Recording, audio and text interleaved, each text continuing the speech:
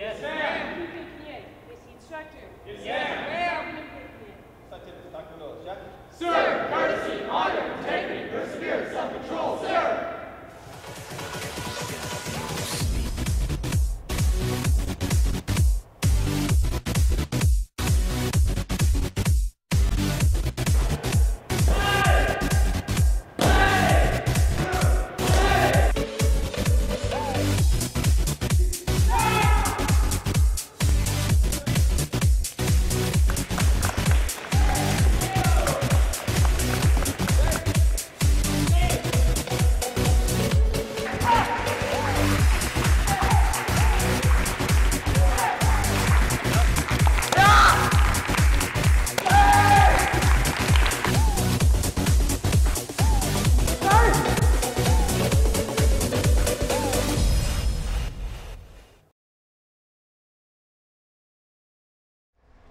Well, we've been teaching Taekwondo here at Ironwood Ridge High School since the second year of school, of, of this school opening.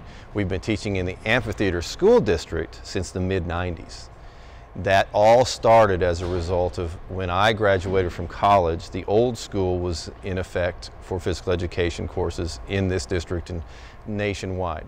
So what happened was it was all team sports oriented when I got out of college. Everything was four weeks of basketball, four weeks of soccer. I represented the new school. And so we changed more from a team sports model to an individual fitness model. And we started having things like aquatics and dance and things that you could do for a lifetime. Um, Taekwondo Fit. And since I had been training in it for a long time, I talked to my department heads, we're missing one thing. And he said, what? And I said, Taekwondo. And he kind of laughed, said, there's no way the school board's going to let us teach this age group how to fight. It's not going to happen. So we went to the school board, did the uh, proposal. The school board nodded and understood that Taekwondo was much more about personal growth than about fighting, much more about self-control. And so they agreed to let me pilot two courses at that time. They failed in a hurry, uh, and then they blossomed from there. And then when I left Amphitheater High School, I brought the program here with me.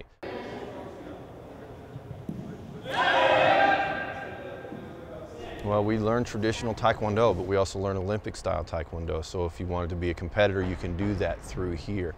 But traditional martial arts really is about perfection of character. So what we learn here and we practice every day is to be disciplined, to demonstrate and show respect.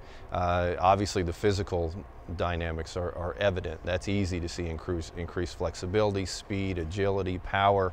Uh, cardiovascular fitness is, is very strong.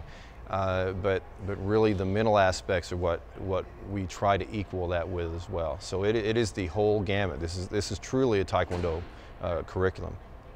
Everybody's represented in this class, from white belt to black belt, from a ninth grader to a fifth and sixth year 12th grader. We have them all. My favorite part about the class is definitely the, the physical challenge of it, as well as you know learning all the discipline and the kind of uh, tradition behind it, like bowing in and bowing out and the, sh the showing signs of respect and everything. It's, it's really cool. A lot of things I like about Taekwondo are getting to meet a lot of fun people and hanging out with a great group of friends.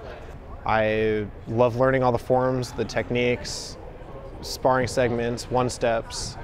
What isn't there to like? It's a unique class.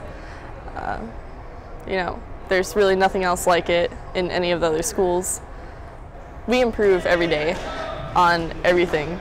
So there isn't one thing in particular that I love training on. It's everything I love training on. So our students have the enrichment of, they can go outside of here. I can show them the path to the Olympics if they're that good. I can show them to regional tournaments. I can show them to different clinics and have people come in. Here, we offer promotional testing about every eight week cycle, twice a month. A promotional testing is a certified promotional testing. It's a chance for a student to test from whatever rank they are to move to the next rank. White belts have very specific skill sets that they have to learn. Red belts have their own specific skill sets they have to learn, but also have to maintain proficiency and knowledge of every lower technique that they've ever learned. So in Taekwondo, uh, you have to earn the next level. You have to show preparedness not only physically but emotionally to go to that next set of skills. And you have to show humbleness and patience. Sometimes they make it, sometimes they don't, but it offers them that opportunity. And they take that rank with them no matter where they travel in the world. They've earned that rank. And, so that's a big thing that we're allowed to do here. I definitely think I got a lot more confident taking Taekwondo and the instructor, Mr. Pauly, he was really helpful. I mean, he would always be telling you to like, you know, go and take on some of the younger ranks and go and teach them stuff and go and help them out. And that was a great confidence booster, like telling, having the instructor tell you that you're good enough to have somebody else like look up to you now. It was, it was really inspirational to hear that. I did Taekwondo at Ironwood for four years.